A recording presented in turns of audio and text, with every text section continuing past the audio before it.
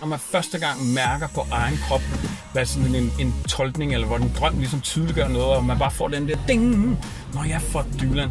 Så, du, så siger du, Så man skal reagere på det.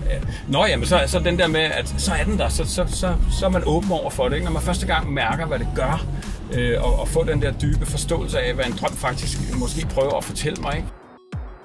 Beliggende i øvrigt, hvis man snuser, øh, skide godt i forhold til at huske sin drømme. Snus? Øh, ja, Okay, det er jo det, man ellers ikke må, ellers alle mulige andre til henseender. her men, men, er men her, det det bedste i hele verden. Shotgun. Viden er noget, vi deler. Præsenteret af BMW i samarbejde med UNX.